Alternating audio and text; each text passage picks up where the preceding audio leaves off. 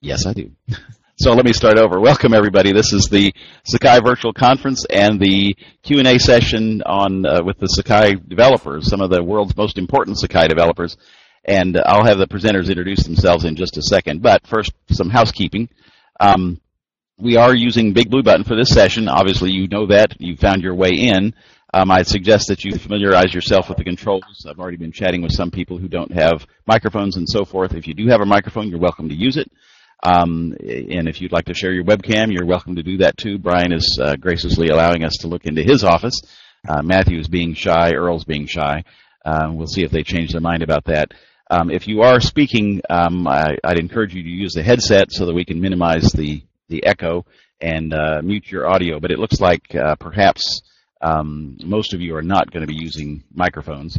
Um, so we'll not worry about that so much. So I'm for most of you, I think the, the questions are going to be submitted through the chat box, which is to the right of the, the screen here. Um, and just a reminder, this session is being recorded, so you can review it later, uh, which is kind of a cool thing. Um, just by way of norms, just a little bit. Um, what what I really hope is that this is a lively and interactive session, and that you uh, have a chance to ask all your questions. We'll have the presenters introduce themselves in just a minute. Um, but I want you to ask questions and also notice that there is a forum topic for this session if you'd like to use that. Um, you can upload files there, for example, if you have something you want to show um, or a screenshot and that sort of thing, that would be a way that you could do that. Um, so there's lots of ways that we can interact here, but we get to spend the next 45 minutes with some, some really top-notch people. In fact, um, again, I'll, I'll say just a little bit of uh, something that by, about these guys. Um, I don't think I'm overstating it if I say that these three are giants in the world of Sakai. Um, I know that my consortium of colleges, we use Sakai extensively, and we owe a great debt to these guys and other people who have done the kind of work they do. We couldn't do what we do if it weren't for people like Earl and Matthew and Brian. Um, so I'm really glad that they're on the call today. Um, Earl and Matthew and Brian um, played the virtual equivalent of rock, paper, scissors and Earl, they decided that you lost, so you have to go first. so why don't each one of you just describe, just you know, tell us a little bit about yourself and how you're involved in the in Sakai development, and then uh, we'll just throw it open for questions. So Earl, we'll start with you. Uh, good afternoon, good morning, actually, everybody. so, so I am the lead software engineer at AsahiNet International, and um, it pretty much head up most of um, the Sakai uh, efforts here at Asahi. Um, I've been involved with Sakai since uh, 2006. Um, I recently I've been you know the branch manager for Sakai 10. Um, you know, and maybe some contributions. Uh, you know, I did I did a lot of the work around the Sakai configuration, um, fixing Sakai bugs, uh, just and, and you know helping people out um, with whatever Sakai issues they may be having. Um, so, and I think that's good enough. So I'm going to pass it on to Matt. Very good, Matthew. You're up next. Uh, I'm Matthew Jones, and uh, pass it on to Brian. I knew you guys would do something like that. Seriously, Matthew, you have to tell just a little bit about what you've done with Sakai. Come on, man. I I, I didn't really prepare anything. I I don't know. I've been working on Sakai for like six years. I worked at a University of Michigan, and I worked alongside for about yep. the same amount of time now. And um, yeah, I mostly do a lot of stuff with release. I do a lot of uh, work on maintenance, and uh, like Martin said, I've you know, worked a lot with Martin and uh, people on this uh, this panel. So yeah, very good. All right, Brian. All right, and I'm Brian, and probably been I've been with Sakai since 2007. Uh, started at IU and moved to Longsight um, four years ago, and just tons of work on Sakai since every you know every year, just always working on something. Uh, so a lot of support, a lot of features, a lot of tools. Um, yep. So we're here to answer any questions you guys have and uh, let me. I, I, know Brian, you were at Indiana University. Matthew was at University of Michigan. Earl, am I right that you were at NYU? Uh, no, I was actually at Marist originally. At Marist, Marist. Sorry, sorry. Okay, okay. very good. But so we have three different um, academic backgrounds, uh, working for at least two different companies and the commercial affiliates of Sakai, and uh, very central to the to the world of Sakai. So, uh, with that kind of introduction, now we've got a nice uh, lot of people on the calls. Let me again encourage you to type your questions in. It looks like most of you will be typing, but type your questions in to the uh, chat box on the right, which everybody can see. Unlike the GoToMeeting um, session that we have uh, for most of the sessions, this one is big blue button, so everybody can see the questions, which I think is very nice. But I'm going to start out with the first one. Uh, Sam Lee Pan had already posted a question in the forum, guys. So uh, here we go. He says, and I quote, uh, this is a very specific question, but previously our institution used to be use the Melete tool, which many of you are familiar with. That's uh, was d- developed by uh, Vivie Sinou and her group. Um, but now we're only supporting the lessons tool.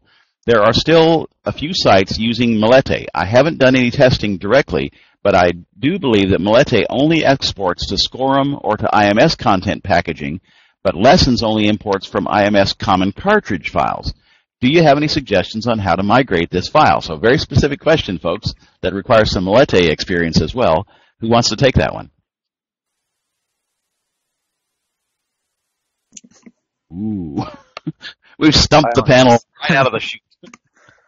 Oh man. Um no, we we've done a lot of uh migrations from Melete to lessons, but uh, I'm trying to think I don't think there's a one to one ratio with that, is there? No, there's a patch that I've worked on that I've been kind of um, one of our uh, our Longsight's clients contributed to starting it, and we put like you know a good amount of hours into it and then they they said we don't want to finish it, so it's kind of languished out there for a while to support importing uh, content uh, CP content packaging into lessons.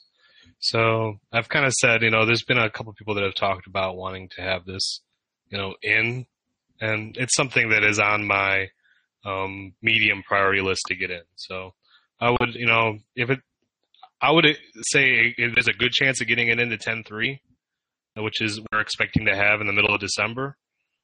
But um, you know, if you want to try it out, if you can test it out, if you have any developers, I think uh, some of it was um, I had it all merged. There was just some uh, some issues with some packages, and um, you know, if you have any sample packages, that that's kind of what we, we were we, we kept getting stuck in testing on it. So. So, um, can you point them to the QA server then? Well, there was a Jira. It's not actually in uh, merged in yet. So it was like a lesson builder 331 was the issue. So b- back when we originally wanted to get it merged, um, Chuck Hedrick didn't want to merge it because he was doing other stuff. And so, but now he said, go ahead and merge it. But since uh, it's since a year old, they, they they're supporting Common Cartridge 1.3 and maybe 1.4 now. So we have to. Um, I had to try to rework the patch and some of the stuff that it had it wasn't working anymore, and I tried to remember what it did, and so it it basically is you know there was a lot of effort in it, and there's there's still a little bit more effort that it needs to to finish. I think we had it like on maybe a, a 20 or a 40 hour estimate, and we spent maybe a little more than half of that time on it. So. Hmm. So it's kind of like now, now, now it's on us to fit, finish it, you know, as you know, on our time. Yeah. I, am I'm, I'm curious. I don't know, uh, Sam Lee. What's what institution are you with? UCT. Okay. Um, so that just you know there there's some thought there. Okay, so we have another question that's come in from Dave Evelyn, who I happen to know. Uh, does anyone have any good examples of how they're building out their lessons, uh, which is more of a pedagogical question? What do they look like, and how do they pair up with the best online teaching practices for online delivery and learning? Uh, what do you what do you technical experts say to that one? That's beyond my scope. I'm I'm not a teacher or do uh, pedagogy like you're talking about. Um, so I'm no answer. Okay, Earl, you want to take a stab at that one? Uh, that's you know I I also am not a teacher, so um, you know I I think uh, you know, I think that's the best question to, you know, maybe follow up with the teaching and learning group or something like that. That's the best answer I could probably give is just to point to the right people. mm-hmm. Okay, and uh, there we go. Okay, we're we're getting some nice chatter going on here, and Karen has uh, provided a, a, link to a nice uh, YouTube video, which I have not seen yet. So thanks for that, Karen. That's that's very useful, and Dave, you can follow up on that as well. So um, another question. This is this is your chance, folks. You've got uh, you've got some serious heavyweights in the room, so you can ask them anything. You could ask them the meaning of life. I'm not sure they'd know that, but you could try. Might be one of those beyond our scope questions. I do not recall. Nor do you want to recall. okay, here we go. Here's another one from Dave. Love the use of rubrics in the lessons area, the the peer. But maybe you you guys could talk about the roadmap a little bit with uh, both the rubrics in the the the the peer assessment that's part of uh, lessons, but also just rubrics in general. I know that's something that my group's been interested in.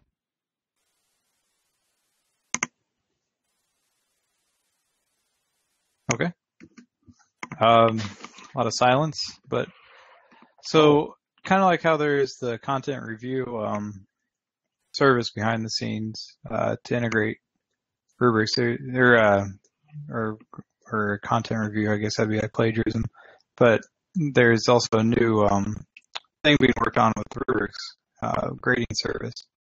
So it, the groundwork is being laid, um, but I don't think you know anything for Sakai 11 is actually scheduled for rubrics.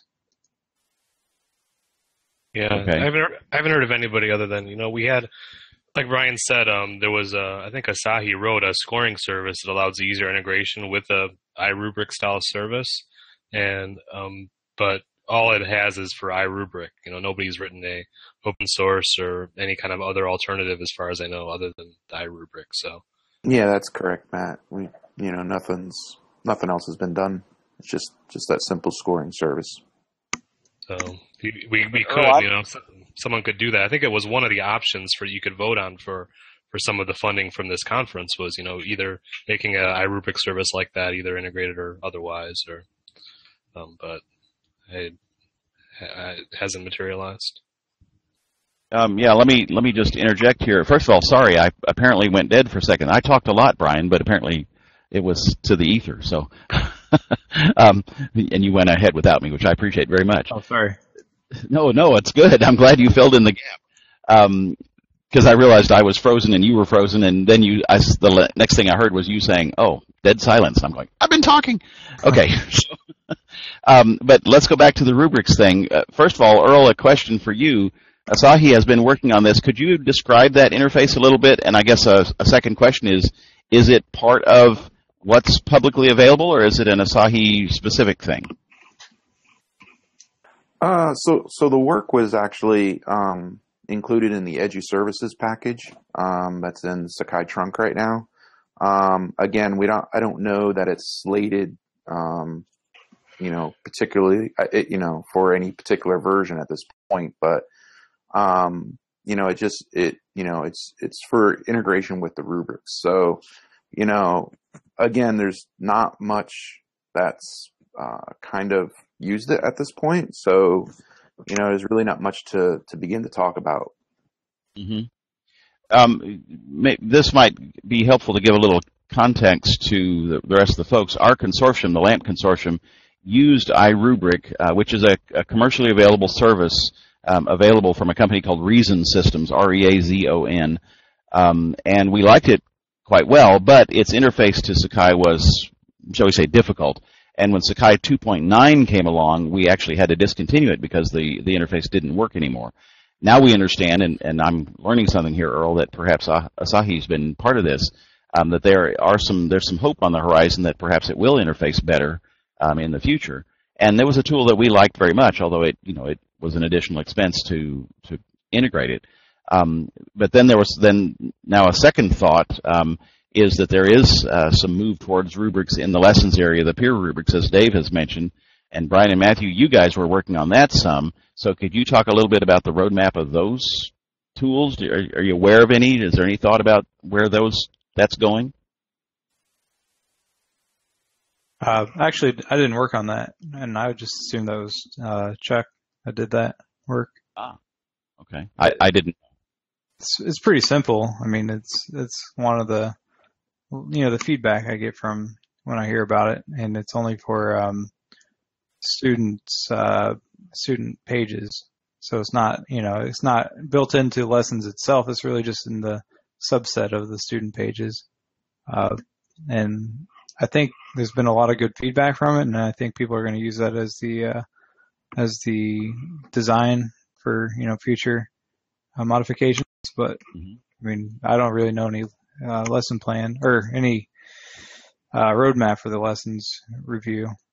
Okay, fair enough. Um, let me ask this question. Um, not well. I'll ask a question first. There's a lot of people on this call. Um, how many of you are finding a, a, desire for rubrics integrated into Sakai in some way or another? Could you just give me a quick, you know, yes or I am or our school is? You know, use the hand raise. That would be fine. Yep, we can do that too. Um, there's a hand raise tool. I don't know if you guys have access to it because I'm not sure. It looks like they've kind of limited non-presenters what you can do. um, but uh, are, are, you are you looking for rubrics? So Sam Lee says rubrics would be nice. That's what I'm looking for. Is just you know what kind of interest there is from folks who are out there about the the rubrics tool. Uh, speaking for my consortium, this is a this is an area of of great interest uh, among us. We'd really like to get something like that. Okay, so I'm getting some yeses coming in here. That's great. Thanks. Um, so let me explain this. That one of the cool things that Wilma worked out about this conference is that your registration fee uh, would go towards the development of some project within Sakai, uh, the decision about which to be voted upon by the people who attend the conference. So one of the choices has to do with rubrics, and if you're interested in that as having some development money, you know, your your registration fee and others going towards that, you should vote on that. Um, it would be something that you could do. There are other very, very worthwhile projects as well. Um, I'm not to say that that's the only one. Um, but that's that's a really neat feature of this conference is that you're actually voting on how some of uh, the funds will go towards upgrading Sakai in some way that you care about. So, very good. Um, let's go on to another question. I had a faculty member raise the question of being able to auto-enter zero once a test or quiz passes its due date for an assessment that only have specific answers. Uh, presently, the faculty member has to manually enter a zero for each student's quiz or use the enter zero for every blank entry. Is there a better or more efficient way? Um, and I, I, know a little bit about the context of this one. Um, uh, oh, okay, I'll t- come to that in just a second here. It's not a. It's not a. Um, I, I know a little bit more about this particular question. The, the professor basically has a quiz uh, that he gives prior to the students coming to class. The quiz ends immediately upon class beginning. If you have not taken the quiz at that point, um, you don't get a chance to. And what he'd like to be able to do is just for that quiz, be able to say anybody who has a blank gets a zero, uh, but not do that for all assignments uh, and all, or, or, sorry, all quizzes. So, any thoughts about that, guys? Anybody who's familiar? Who's most familiar with Samigo of the of the gang here? um, so I worked on a um, Jira, I thought it was 429, but it was the apply score to all un, uh, ungraded tests. Mm-hmm. And I, I, I, mean, is that not what what you would want uh, for this situation? Essentially, you go to the the scoring page, and there's a field on the top where you can enter a number. Uh, in this case, you'd want a zero, right. and you click the button that says apply to all ungraded um, tests. And anybody that has a blank or ungraded would get the zero for that test. I mean, it, that one sounds test, like that's what you need. It's exactly what we need. Is that in trunk yet, Brian? I think Matt just showed it. It's Sam yeah. 904. 904. Um, so that should be there, especially for Dave. Um, okay. Yeah, so it's there. Maybe they just didn't know it was there. Or yeah, looks like there's just a box and you just put in a score to apply everybody with no submission. Mm-hmm. It doesn't do it automatically, but you have to go in and, and put in the number. Yeah, it's not automatic. Um, so that, that would be the that's, that's yeah, that would be additional. That's the answer. Mm-hmm. Okay. Okay. Um, I'm just realizing that I'm missing. I'm I'm falling behind here. Um, let's see. Sam Lee, you asked a question uh, that maybe I missed a piece of it. It, it. it just lost after the quote. Perhaps it's not a technical phase yet, uh, but would there be space to add a quote? And that's where it's, and then it says almost like a trigger is all I've got. Um, oh, I think it's just. I think if the he just finished the question. Oh, okay. I see it. Premature. There. Thank you. Thank you. All right. You want to take that one, guys? Add a progress bar to show how far students are finishing learning objects, assignments, tests, etc. Ooh, that's a tough one. That's interesting. Let's see. I mean, you know, that's not obviously not available in Sakai, uh, but you know, Lessons has the uh, outcomes ability where you can, you know, unlock certain things based on a an assignment score, your um, feedback and stuff like that in forums. So, I mean, maybe you can, you know, do some kind of gamification style with lessons. Uh, I know Wilma uh, definitely worked a lot on that. So if you, you know, if, she, if there's anybody to, uh, you know, get suggestions from, be Wilma at longsight.com. Um, so I can type that in. That should. Would, you got that. that? Yep, you go ahead. And should she's uh, done some work with like uh, not not just gaming, but like uh, badging and stuff like that. So um, I'll contact her if, and she'd have any ideas how you could use lessons outcomes for a progress style. Yeah, that's a good one. I've I've found Will to be very very sharp about this kind of stuff. So. Mm-hmm. Okay. Another question. Y'all are being very quiet.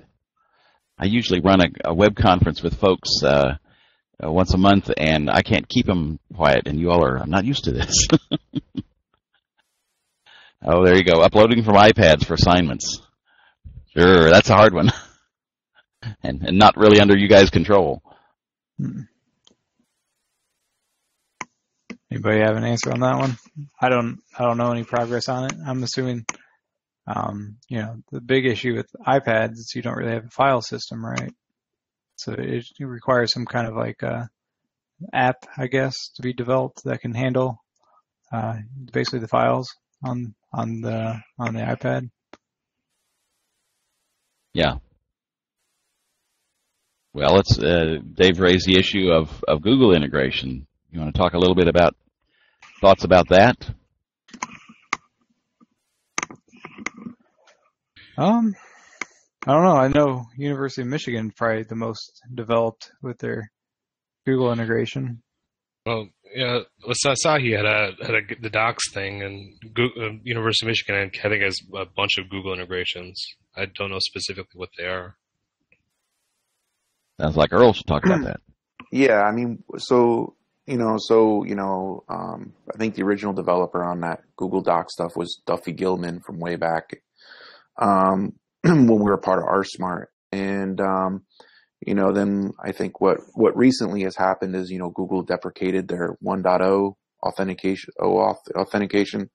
So, um, I think everybody has to move by next year sometime. So what we did was we updated the integration to work with their OAuth 2. And, um, um, yeah, that's correct, Martin. Um, so um, we uh, uh, upgraded the authentication to OAuth 2, basically, so that people, if they wanted to continue using the uh, the Google integration that was in uh, resources, they could continue to do that. Um, though, though I will say, um, I do like the idea, the strategy that Michigan took with uh, the integration there. Uh, I think that's, you know, uh, making it LTI based like that seems like a good fit because, you know, now you're not constrained to um, just doing it the way resources does it, right? Um, there's, there's like pros and cons, you know, for, for doing that kind of integration. But I do believe like uh, the LTI integration that, um, that Michigan uh, is, is doing probably allows for more leeway to do more things. And any any do you have any knowledge, Earl, about where that is in terms of sort of the rest of the world? Um, is that a, a Michigan specific thing that'll find its way back in trunk at some point? Do you think, or where do you think that stands? Uh, from what I, I mean, some others can comment, especially Matt. Um, you know, he's he's he's kind of got some ties there to Michigan. Uh, but the la- the last I heard from, I think from Beth was they're looking to eventually open source it. I think. Okay, that would be cool. okay. Dave, you're asking lots of questions. like I said, Matt might know more than I would about that.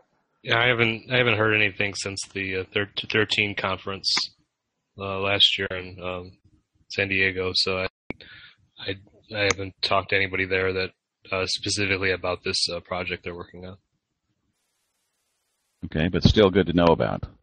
Yeah, I think the code is out there in Contrib, and you know they're still um, they're still working on stuff like this, but uh, I don't know how to run it or anything. They have a lot of calendar and drive. They have like they calendar and drive code, but uh, I've never specifically tried to run it. Yeah, and Okay. I say the same here. I haven't specifically run that. But there's some some movement in that direction, which is encouraging. Okay, cool. Um, can somebody talk about search within a course? You know, maybe let's start with uh, sort of how it how you envision it being used and you know, better ways to leverage it. So I I assume we're talking about um, you know the the search tool that's that's in that's that's in Sakai that's currently in there. Uh, you know, Right. most people probably know that you know that you can use two different. There's like two different search implementations you can use. There's one from Solr. I believe that um, the guys from UK, um, from Oxford, um, kind of uh, they've kind of um, you know championed uh, the Solr implementation. And then um, there was Asahi championed the Elasticsearch piece of that. Um, Elasticsearch is pro- is the default that's in Sakai 10 when you set it up. Um, mostly because I I believe most of that was just around because Elasticsearch could be embedded, and Solr, although maybe it could be embedded, but I think it was like more heavier weight. Um, um, so um, you know, Elasticsearch seemed like a better a better choice um, for you know for the default out of the box choice. You know, there, there is some great things uh, that can be done with search. Obviously, um, for example, uh, you know, right now, you know, there's um, um, there's not there's not as much. We would like to have more features. Um, like for example, there's uh, you can say um, you know restrict this search to like a specific site, or you know there can be tags that are um, you know that are added uh, that you know that that can help you know uh, filter your searches and things like that. Um, uh, there's uh, um, you know the searching I think overall is is much better than what it used to be in Sakai. I think uh, everybody will attest to that. Um, I think that Elasticsearch has been great. Um, there were a few hiccups, I believe, in 10.1 with it, and they were fixed in 10.2. Um, um, and most of that, most of that was was dealing with when you were in a clustered Sakai environment. So um, in Sakai 10.2, we kind of fixed those up, and and uh, so now that the now you know clustering um, in 10.2 uh, with Elasticsearch works very well. Um, I don't know what anybody else really wants to know about it, so I'll uh, maybe pass it on to one of the other panelists see if they want to add anything. I mean, search has definitely been improved for Sakai 10 compared to the previous versions. So definitely reevaluate it. Hmm. Yeah, there you go. That's maybe good advice. Take another look at it. Okay, we've got another question come in here, guys. Um, it's interesting. It's not showing up in my box, but when I copy all and paste it into a word processor, I see it. So just in case you don't see it, um, I'm sorry if I mispronounced this. Kurash says, with tools deploying some parts into Tomcat's shared area, is there some support for cross-service transactions through Magic or Spring or something?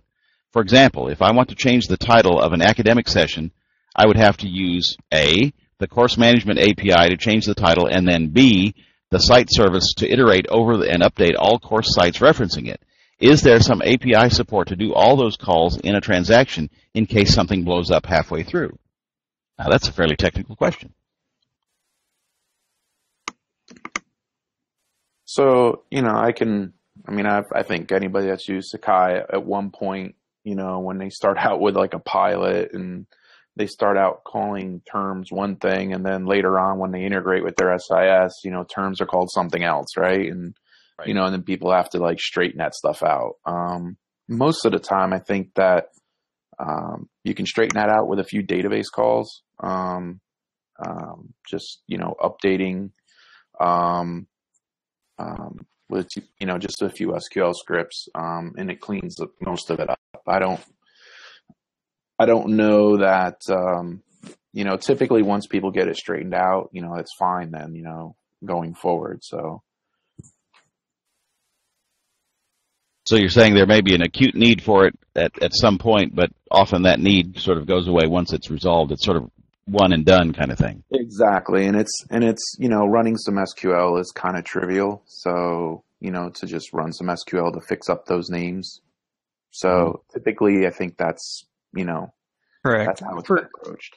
Yeah, for things like names, definitely SQL. Um, if you're going to be doing stuff like adding sites and updating sites, and you know there's um, well, do web services. I think right now you know, the recommendations for RESTful web services, but I'm not really sure how verbose they are compared to the um, SOAP services, because that's usually, you know, what we do to create batch modifications to, um, you know, just that's the best way to do it. Just write yourself a SOAP, uh, on, and you know, I keep on suggesting SOAP. I mean, but it just seems easier um, right now, even though it's going to be deprecated for 11. Um, but it's just easy. You write the Java code basically as if you would in a tool in Sakai.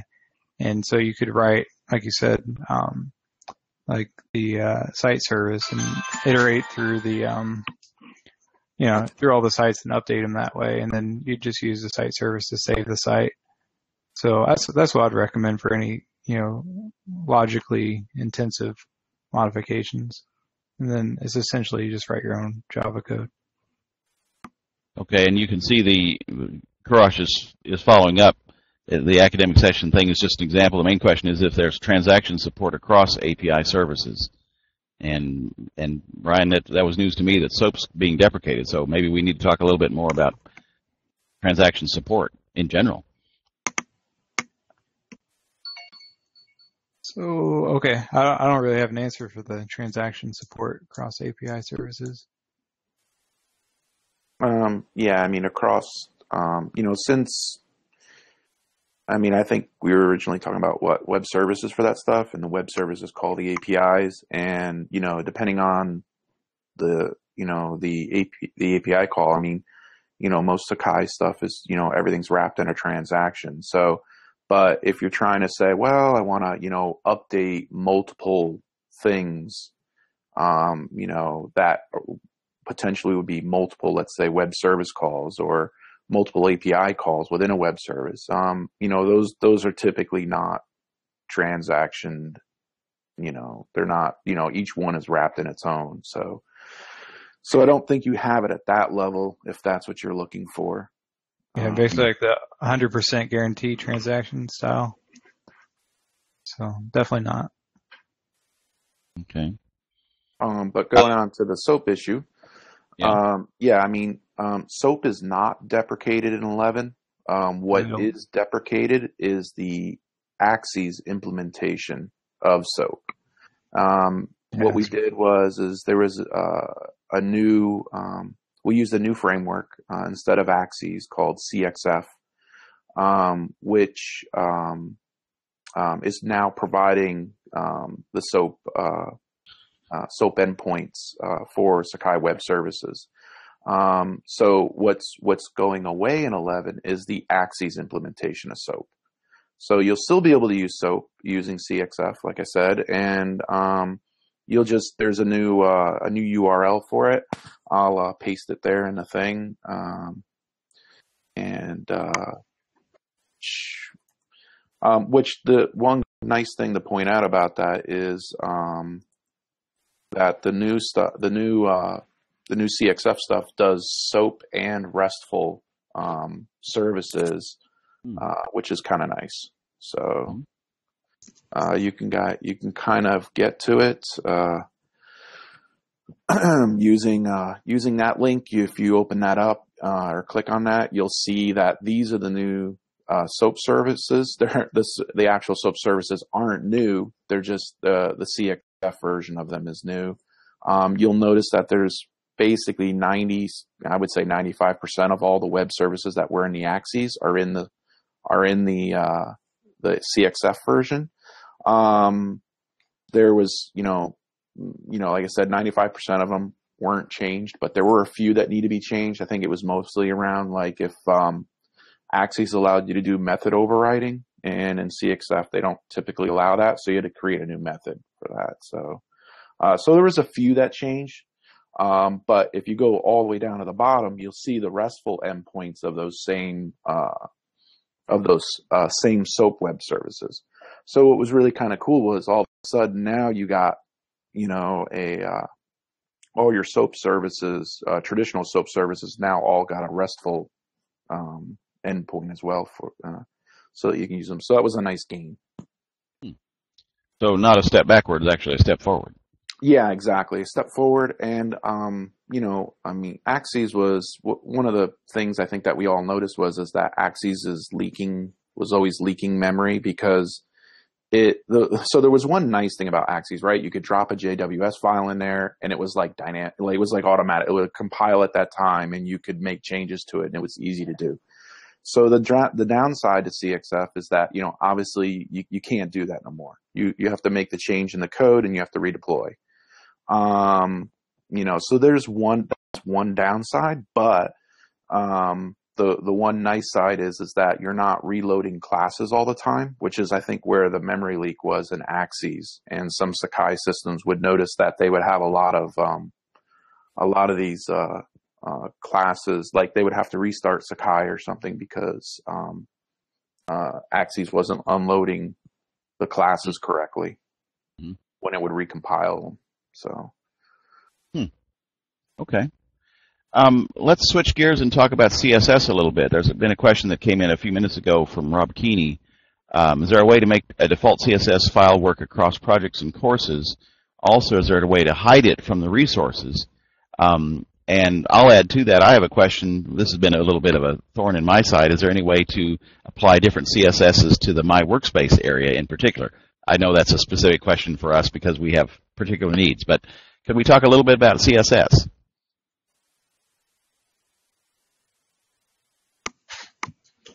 All right.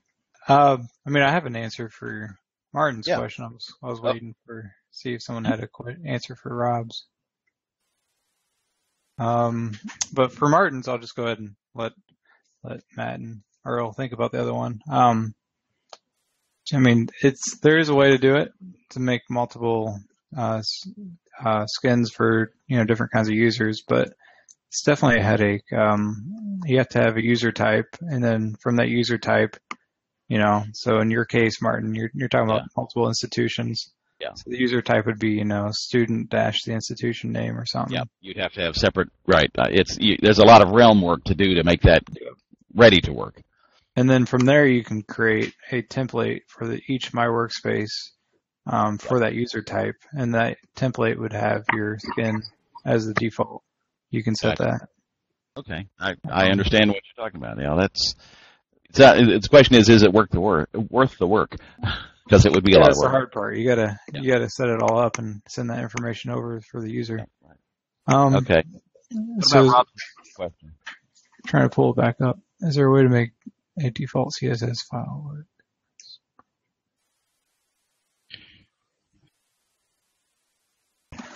I, I guess I don't follow the question too well. Yeah, more about that. Would you like me to, would you like me to explain?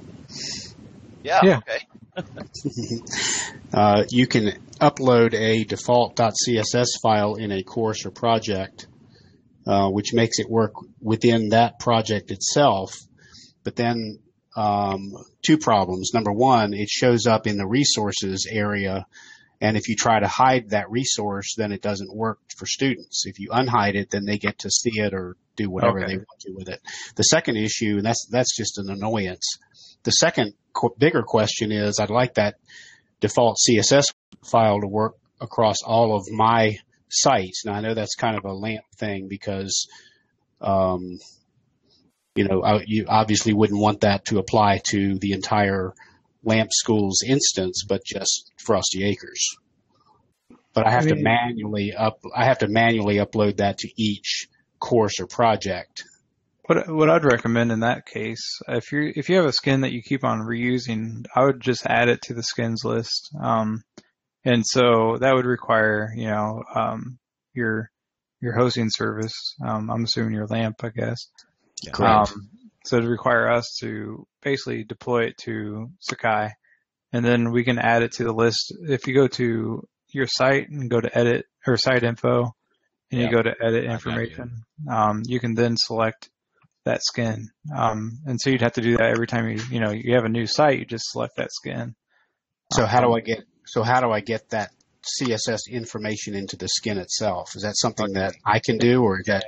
No teacher, teachers cannot do that. It requires some kind of administrator. Um, yep. I am the, I'm the god of everything here. So yeah, there's a, there's a tool out there called skin manager that, um, obviously like, like Brian was saying that, um, you know, only admins usually typically have access to that tool, but um, typically, you know, the uh, you know admins you know would use the skin manager tool to you know download their skin, make changes to it, and upload it.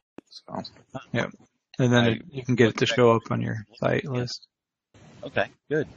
Um, folks, we're getting close to the end here, so let me let me tackle this last batch of questions that have come in around uh, the idea of Morpheus and so forth. Um, Adam asked a question um, about the lesson builder, lesson lesson builder tool initiatives. You all want to take take that one? Has to do with iframes on mobile.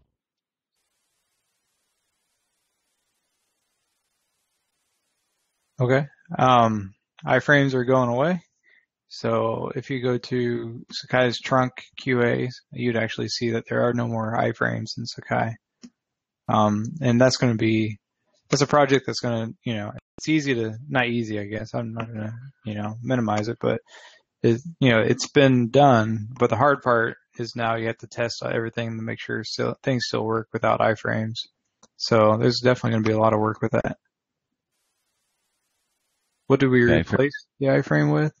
Um, essentially, it's it's just kind of a like a dynamic loading. Um, so the portal loads the portal, and then from there, it kind of uh, it loads, it finds the uh, um, uh, the tool basically that it needs to load and just kind of loads it into the HTML for that portal. So if you're familiar with like uh, like Sakai OAE works, I mean that's kind of the same idea where it just kind of piecemeal starts loading itself. Um, so that's the idea. So it's really all just one big template, but the way the portal just kind of handles the way that it loads it. Yeah, I mean, there's, there is like a, uh, you know, like a tool container, um, you know, just a div or whatever or something yeah. like that, that where the tool actually loads into that, you know, the portal calls out to and says, you know, tool, and the tool gets loaded into there. So, yeah, the layout's exactly the same except for in, instead of iframe, it's just a div. Yeah, hmm. where yeah, yeah, and it's uh, it's you know the I I mean uh, the main uh, people that are working, and you know, there's a lot of sessions like you know at this at the virtual conference here and stuff. Are you know Chuck um, Severance has been working on the removing. Chuck Severance is kind of like the maintainer of the portal code. So, and he's been kind of, uh, you know, he's done most of the work to remove the iframes um, from the portal. Um, and uh, and then there's um, uh, Mark Riley, obviously, who's been doing all the um, CSS and uh, work for Morpheus and stuff like that. So, um, you know, it's important to have these iframes removed. I think there are like challenges with doing that because like when you have two tools that display on a page, you know, you know how, how you can kind of do that. Um, it gets very tricky, um, when you, when you do that. And I think actually right now is if you do uh, uh, decide to deploy on a on a single page two tools, um, I think they have to uh, render an iframe um, for each of those tools because uh, uh, there's um, you know so there's there's some challenges with it. Um, and I think I know somebody made a mention to lessons uh, to lesson builder. Um, I think um, that I think that's a bigger issue. I don't think it's like specifically a lessons issue. I think it's a, a RSF issue um, that need to work out yet. Um, it's gonna, it'll happen. Just, just kind of needs to happen. Um, uh, but yeah, the, the, the two main people are Chuck Severance and and uh, uh, and Mark Riley are the are the, the two that are heading it up. So, hmm. well, guys, we're uh, we're we're to the end of our 45 minute session. We need people to have time to move from class to class. Uh, so, um, but I really appreciate everybody being here. I mean, this was a nice nice big crowd. I'm impressed. I should I suddenly realized I should take a screenshot so I know who, who actually came, um, because there's not a tool for doing that in Big Blue Button. Uh, but I have put the link in the chat there for where you can go uh, to continue the discussion. There's a there's a forum set up, so a threaded discussion that you know can continue this conversation if it needs to. Uh, so please feel free to use that. And uh, with that, guys, I see Matthew's getting his last words in here. um, thanks for that. Uh, but guys, I really appreciate it. You, you've done a good job of fielding a very wide variety of questions, and thanks to the audience for asking good questions. And uh, with that, I'll let you go and move on to your next se- session. But uh, thanks for being a part of the Sakai Virtual Conference. Cool. Thanks, everyone. Thank you, everybody. Appreciate it.